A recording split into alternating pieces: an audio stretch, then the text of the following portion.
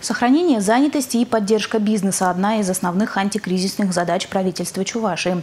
О мерах поддержки предпринимателей говорили на совещании в Доме правительства. Государством уже предложено несколько пакетов мер для бизнеса. Они касаются снижения налогов, арендной платы, субсидий на зарплату, приостановки проверок и взысканий со стороны ФНС. Правительство республики уже приняло ряд нормативных актов. Только за прошлый месяц одобрили 39 заявок о реструктуризации договоров. Изменились и правила предоставления экспресс-микрозаймов предприятиям. В два раза вырос беззалоговый займ до 1 миллиона рублей. Увеличился и срок предоставления. Теперь он составляет 36 месяцев. По новым условиям микрозайм получили 10 субъектов на сумму 22 миллиона. За предоставлением отсрочки на сегодня э, обратилось э, порядка 27 обращений, 23 организации. Э, по большинству сейчас принимается решение, и, соответственно, они получат данную отсрочку.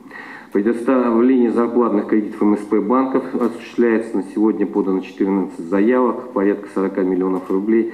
С середины марта Управление Федеральной налоговой службы по Чувашии не принимает решения о банкротстве. Сейчас в подобных процедурах или на пути к ним более 200 организаций. До конца мая приостановлены меры взыскания с юридических лиц и индивидуальных предпринимателей.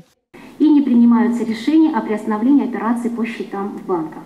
Для приостановления мер взыскания не нужно подавать заявление в налоговый орган. Эта мера распространяется на всех налогоплательщиков, которые состоят на налоговом учете в республике.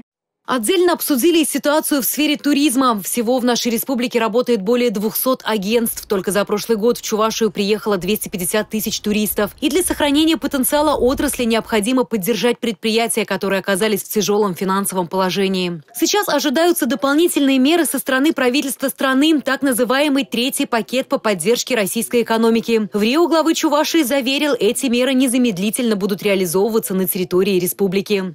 Очевидно, все эти меры у нас прежде всего они направлены в связи с поручением и посылами президента, чтобы поддержать прежде всего простых граждан.